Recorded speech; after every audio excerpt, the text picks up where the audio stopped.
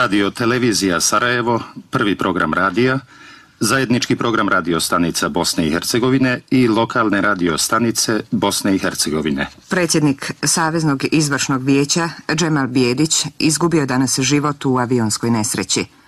Džemal Bijedić letio iz Beograda prema Sarajevu specijalnim avionom.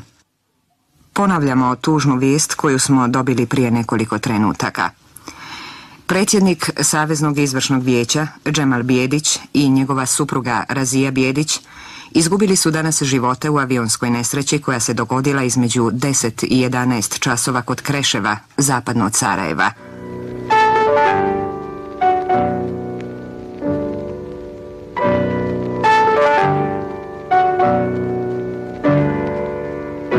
Neposredno po povratku iz Libije, predsjednik Republike Josip Broz Tito sa suprugom Jovankom položio je venac kraj odra i minutom čutanja odao posljednju poštu preminulom revolucionaru i borcu samoupravne socijalističke Jugoslavije, svom bliskom saradniku i drugu Džemalu Bijediću i njegovoj supruzi, divnom čoveku i plemenitoj majci Raziji Bijedić,